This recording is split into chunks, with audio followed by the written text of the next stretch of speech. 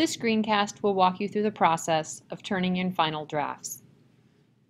In our classroom, under Start Here, Introductory Materials, you will find the Turnitin information. You will be turning in all of your final drafts to three places, Turnitin, the T drive, and in hard copy in the classroom. The Turnitin codes will be on this document. Please be sure you enroll in the course only once. Be sure to write down your name and password for Turnitin so that you do not lose it. Also under the introductory materials are the guidelines for final draft submission. The guidelines for final draft submission will show you the format that each paper needs to have in preparation for its final draft.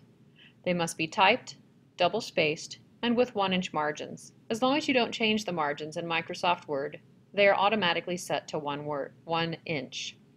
You need to insert a page number with your last name at the upper right-hand corner of every page. And in the top of your page, but not in a header, you should have your name, your instructor's name, the course title, the date of submission, and without any extra spaces here, your title, centered and not in bold. Please notice that the title is the same font and size as the paper itself. There are also on this document a few guidelines for formal, formal writing. Please take the opportunity to look through them. When you're ready to turn in your paper, you'll need to go to Turnitin. In Turnitin, I will have set up courses. I know that your view looks different than mine.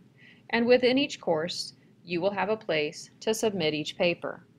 For most of our papers, I will set up a revision option.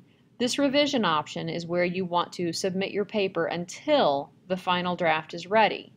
In the revision option, it will allow you to see your Turnitin score, which you want to be below 20%, it will allow you to utilize the GradeMark feature, which can give you some clues as far as grammar and mechanics in your paper. And it will allow you to resubmit it multiple times to the revision folder. When your final draft is ready, it will go to this file, the piece that is not the revision file. That's only for your final draft. In addition to Turnitin, you will need to turn it in to your T drives. Of course, you can access your T drives in the bottom of your computer with your H drive, but you can also access the H drives through our school website, and you can access it this way when you're home and not in the network. We got new passwords recently. Let me see if mine will work. There we go. Once you're in the web portal, you'll want to use this link down at the bottom. This one does not usually work. So click on continue and that will take you into your H drive list where you can go to turn it in. And here you'll be able to turn in your paper to the correct folder.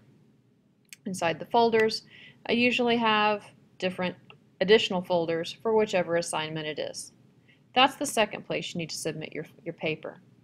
The third place you need to submit your paper is in hard copy in the classroom. I have found that I grade things much more quickly when I have them in hard copy and that way I can provide you feedback as well. If you have any questions, please feel free to email me.